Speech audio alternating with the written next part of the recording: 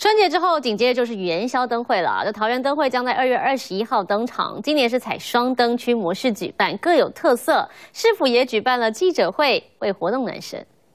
我们的表演也都不间断，我们还有我们的汉服展示，还有澳洲来的表演团体表演科技艺术，非常非常吸睛。我们有三个灯笼，像这个是呃淘宝龙，这个是淘气龙，还有我手上这个是春桃共荣。呃，只要来参加我们这个活动的小朋友都可以拿到这个灯笼。我想这个灯笼非常可爱，而且都是用环保材质做成的。